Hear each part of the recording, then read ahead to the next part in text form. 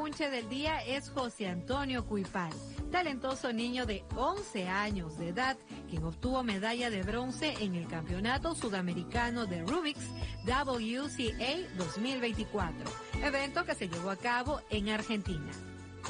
Este campeonato reunió a 300 representantes de 15 países sudamericanos, entre ellos Estados Unidos, Rusia y República Dominicana.